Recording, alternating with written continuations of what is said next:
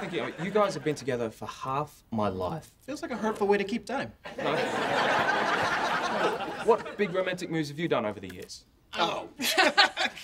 Don't, Don't get us started, because once we start, we ain't stopping. There's so many. It's like, um, It just goes on and on and on. Uh, hmm. There's that one. Mm. oh, oh, okay. Get oh, 'em. okay. Let them know. So, Let them know.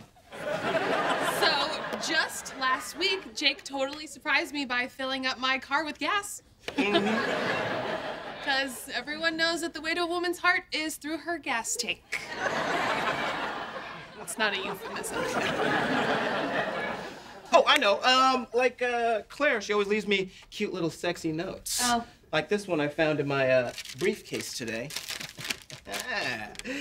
Jake, please buy light bulbs. I mean, I can't be the only one who's getting goosebumps, huh?